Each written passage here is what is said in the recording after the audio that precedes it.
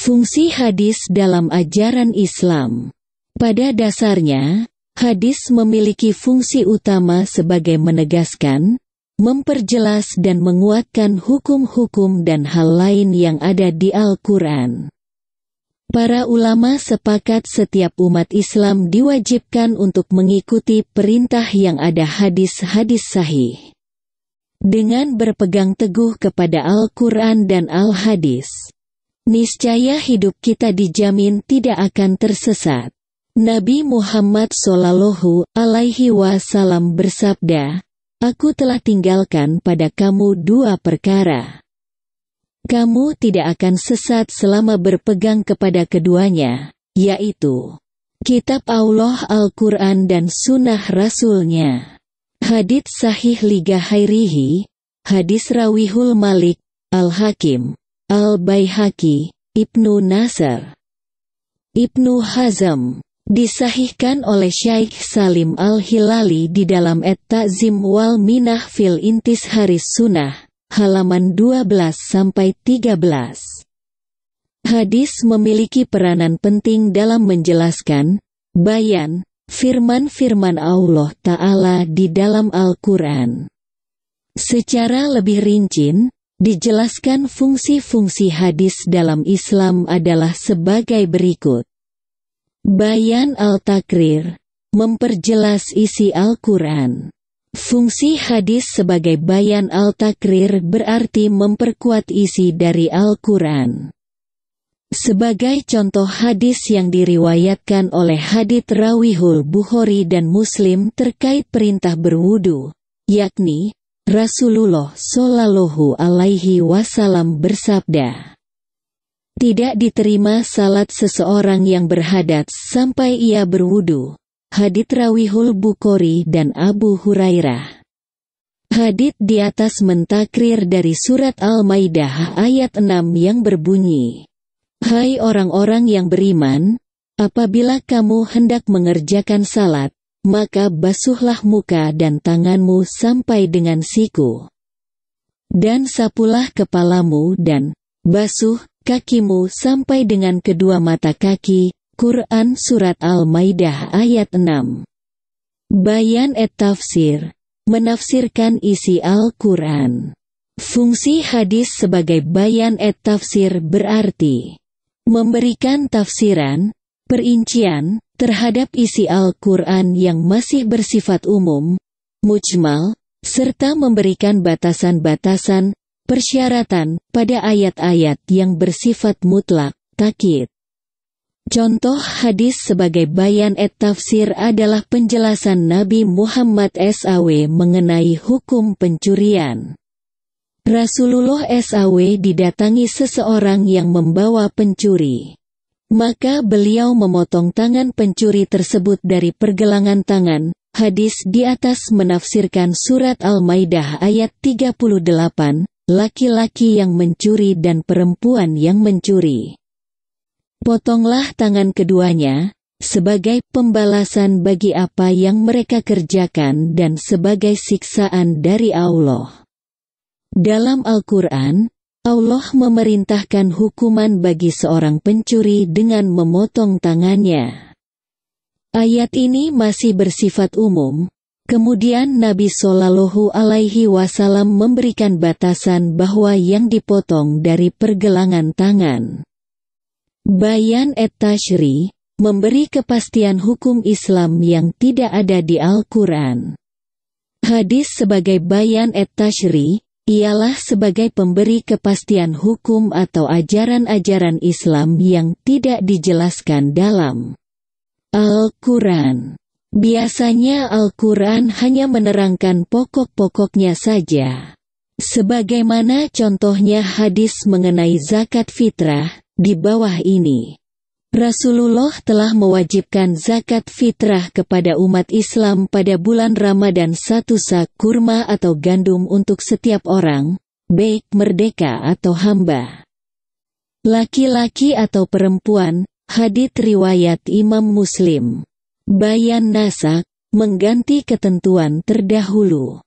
Secara etimologi, an-nasak memiliki banyak arti di antaranya et-takir, mengubah. Al-itbal, membatalkan, et-tahwil, memindahkan, atau ijalah, menghilangkan.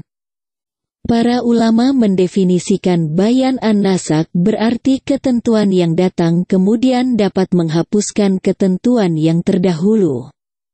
Sebab ketentuan yang baru dianggap lebih cocok dengan lingkungannya dan lebih luas.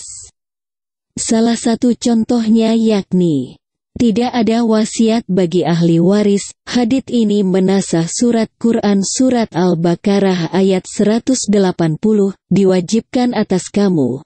Apabila seseorang di antara kamu kedatangan, tanda-tanda, maut. Jika ia meninggalkan harta yang banyak, berwasiat untuk ibu bapak dan karib kerabat secara ma'ruf.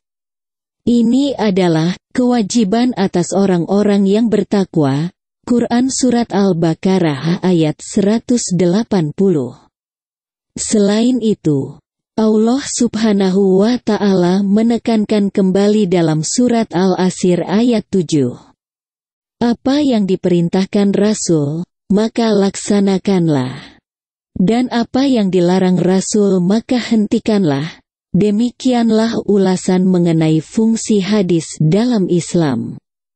Semoga kita bisa menjadi hamba yang taat kepada Al-Quran dan Al-Hadis. Di samping itu, kita juga perlu jeli dalam membedakan antara hadis yang sahih, doif, dan hadis palsu. Sehingga perlu belajar kepada orang yang berilmu tentang agama Islam yang berkaitan hadit ini.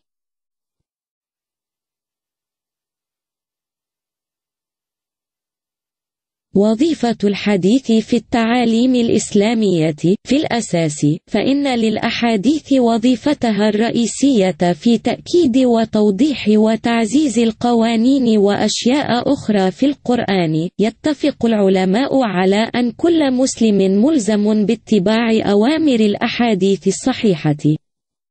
من خلال التمسك بالقرآن والحديث تضمن حياتنا عدم الضلال قال النبي محمد صلى الله عليه وسلم لقد تركت معك أمرين لا تضل ما دمت تمسكون بكتاب الله القرآن وسنة رسوله.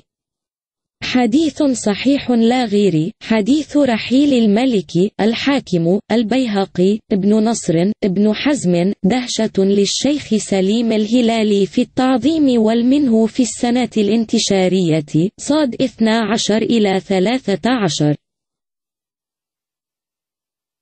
Function of Hadith in Islamic teachings. Basically, the hadiths have the main function of affirming, clarifying and strengthening laws and other things in the Quran. The scholars agree that every Muslim is obliged to follow the existing orders of the authentic hadiths. By sticking to the Al-Quran and Al-Hadith, our life is guaranteed not to go astray. Prophet Muhammad sallallahu alaihi wasallam said, I have left with you two matters. You will not go astray as long as you cling to both. Namely, the Book of Allah al-Quran and the Sunnah of His Messenger, Hadith Sahih Layarihi, Hadith Rahul Malik, al-Hakim, al-Bayhaqi, Ibn Nasr, Ibn Hazm. Dishahala by Sheikh Salim al-Halali in at Tazim wal Mina fil Intisharis Sunnah, pages 12 to 13. The hadiths have an important role in explaining bayan the words of Allah Ta'ala in the Quran. In more detail, the functions of hadith in Islam are explained as follows, bayan al-taqrir clarifying the contents of the Al-Quran.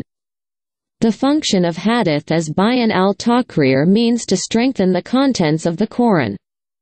As an example of the hadiths narrated by the Hadith Rahul Bukhari and Muslim regarding the command of ablution, namely, Rasulullah sallallahu said, It is not acceptable to pray for someone who is sincere until he performs ablution. Hadith Rahul Bukhari and Abu Huraira the hadith above Mentakrir from Surah Al-Maida verse 6 which reads, O you who believe, if you want to pray, then wash your face and hands up to the elbows.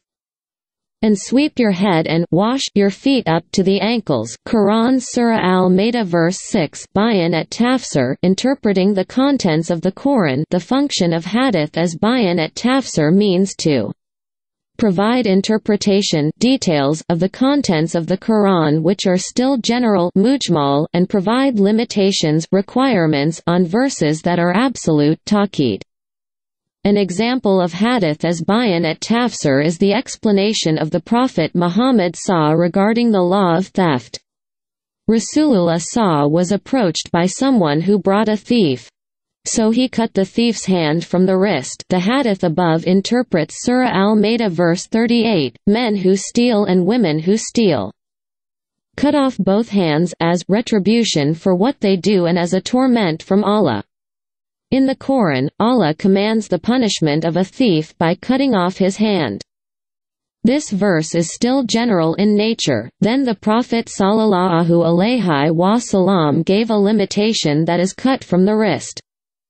Bayan at Taziri provides assurance of Islamic law that is not in the Al-Quran hadith as Bayan at Taziri is as a provider of legal certainty or Islamic teachings that are not explained in the Al-Quran.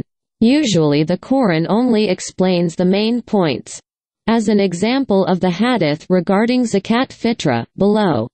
Rasulullah has obliged zakat fitra to Muslims in the month of Ramadan one shah date or wheat for each person, free beak or servant, male or female hadith history of Muslim imam. Bayan Nasik changing the previous provision. Etymologically, and nasik has many meanings including at takir changing, al itbal cancelling, at tawil moving, or ahala removing. The scholars define bayan and nasik to mean that the provisions that come later can abolish the previous provisions. Because the new provisions are considered to be more suitable for their environment and wider. One example is there is no will for the heirs this hadith abrogates the Quranic letter al-Baqarah verse 180 it is obligatory on you, if someone among you comes signs of death, if he leaves a lot of property. Will be for the mother father and intimates of relatives maruf. This is an obligation for those who are devout Quran Surah al-Baqarah verse 180 in addition. Allah subhanahu wa ta'ala emphasized again in the Al-Asir verse 7. What the Apostle ordered, then carry out. And what the Apostle forbade then stop it this is a review of the function of hadith in Islam. Hopefully we can become obedient servants to Al-Quran and Al-Hadith. Besides that, we also need to be careful in distinguishing between authentic hadiths, doif, and false hadiths. So it is necessary to learn from people who are knowledgeable about Islam related to this hadith.